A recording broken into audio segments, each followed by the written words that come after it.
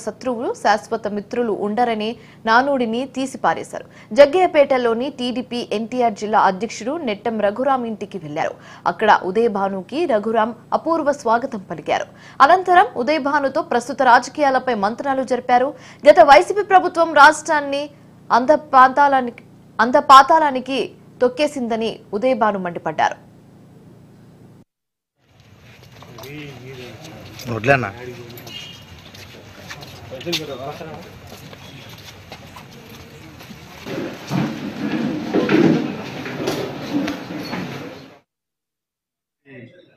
జిల్లా అధ్యక్షుడిగా నాలుగేళ్ళుగా పనిచేస్తా ఉన్నా.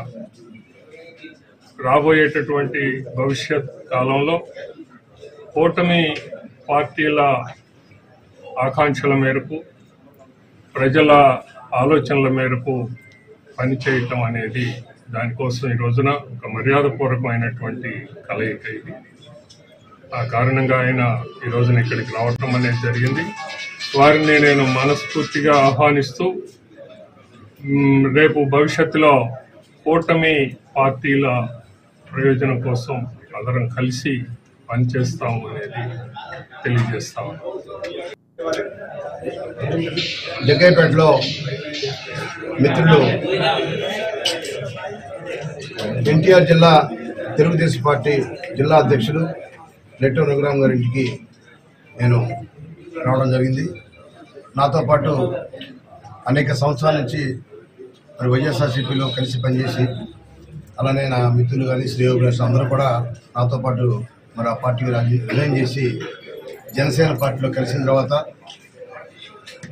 మరి ఏదైతే కూటమి ఉందో కూటమికి అనుగుణంగా పనిచేయాలి మరి ముఖ్యమంత్రి చంద్రబాబు నాయుడు గారు కానీ ఉప ముఖ్యమంత్రి పవన్ కళ్యాణ్ గారి నేతృత్వం ఉన్న ఈ కూటమి ప్రభుత్వంలో మరి జనసేన పార్టీ జిల్లా అధ్యక్షుడిగా నన్ను నియమించిన తర్వాత నేను కూడా ఎన్టీఆర్ జిల్లాకి ఇటు పార్టీని అభివృద్ధి చేయాలన్నా కూడా మరి కూటమి నేతలతో కలిసి ఉన్నప్పుడే అది సాధ్యమవుతుంది.